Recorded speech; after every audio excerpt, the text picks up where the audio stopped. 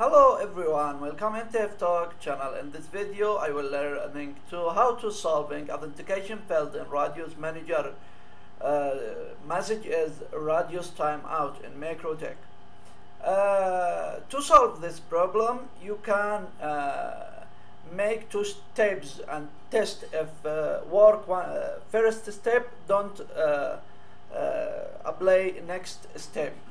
Uh, example uh, first I will uh, showing uh, the uh, shared secret for Radius server from user manager and editing uh, editing IP address to local address 127.0.0.1 and I adding in filter rule input chain and uh, source address uh, but uh, local address uh, 127.0.0.1 and uh,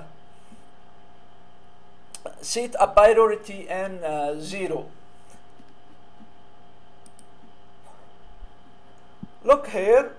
After do this the uh, radius is work and login okay and uh, this is two steps uh, or two idea to solving this problem.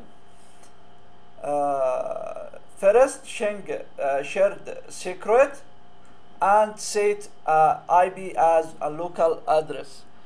Look here uh, before uh, before in, before sharing secret and set IP address as a local the error is show. After a date to the uh, local address 127.0.0.1 and change the secret, shared secret the problem is solved. If you have uh, any question you can put in the command.